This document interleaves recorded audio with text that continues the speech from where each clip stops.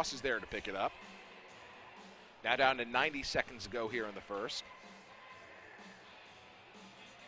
Up top to Henry. Henry over to the near side to Ross. Ross working one on one with eight on the shot clock. Shoots and scores! Amazing shot going down low. Ross was able to dive in, and it's the Swarm with 80 seconds left in the first who go back up top 3 to 2. He made it look simple, but this is not an easy shot as you take a look at the replay here. Ross worked